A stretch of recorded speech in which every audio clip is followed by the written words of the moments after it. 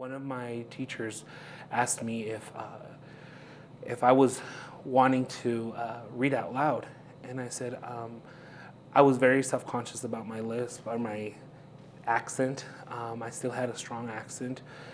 Um, and I really did not like reading out loud because it made me very self conscious. And I remember telling her, you know, I would like to read, but I don't like to read out loud. And I remember her saying, um, you know, you, you guys need to start learning how to read if you guys want to be successful. And I remember saying, you guys, what do you, what do you mean by you guys? You immigrants, you Mexicans.